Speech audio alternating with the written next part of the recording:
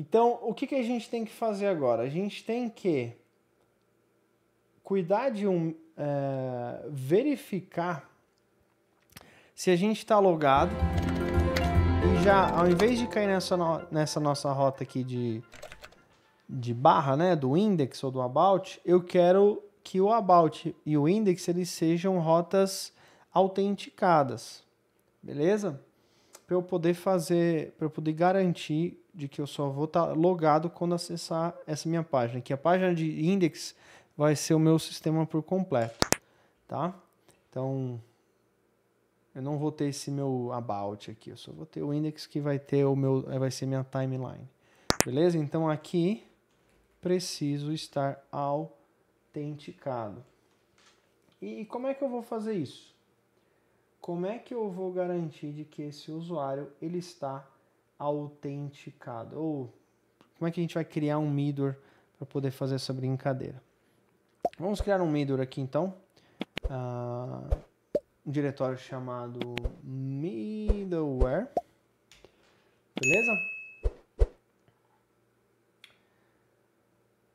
E a gente vai dar, a gente vai criar um middleware, um arquivo view, um, na verdade um arquivo TypeScript, que ele vai, a gente vai dar o nome de out, que é autenticado, fazendo referência ao nosso sistema de autenticação do próprio Laravel, tá? E aqui a gente vai fazer o seguinte: a gente vai ter que exportar uma função chamada define next route middle, que é assim que o, o next ele espera receber esse teu essa tua função de, de middle, tá? E eu vou fazer o seguinte, a gente vai ter uma verificação aqui se o cara tá logado ou não, tá? Com alguma coisa. O que, que eu vou fazer? Eu vou criar um cookie eu vou fazer. Vamos fazer por enquanto. Eu vou colocar aqui false. Aí a gente vai fazer a nossa regra ali depois. Tá? Se tiver authenticated. Uh, eu escrevi errado aqui. Rename to authenticated. Ah, faltou uma coisinha ali.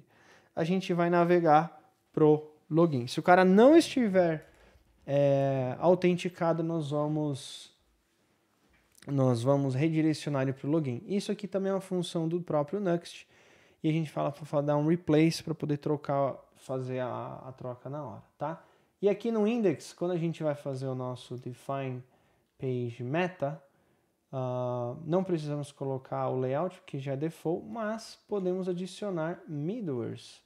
Tá? E a gente fala que o nosso middleware aqui ele tem que estar tá autenticado. Vamos dar uma olhada? Então eu vou clicar em Home, ele me mandou para login. Olha que legal. Beleza?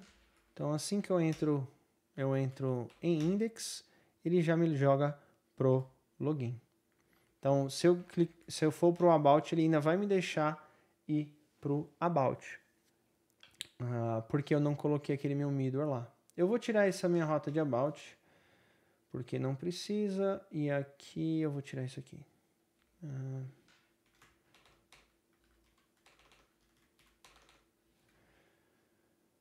ok?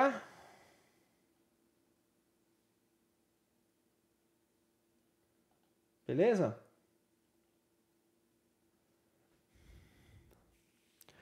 Consigo colocar. Beleza, então vamos lá. Então olha aqui que massa. Tá? Isso aqui a gente vai fazer. Se der tempo a gente faz hoje, senão a gente faz na semana, na próxima live que a gente tiver. Uh, porque eu quero que você entenda muito bem esses conceitos de view. Tá? Vem de boinha, a gente não tem pressa nenhuma.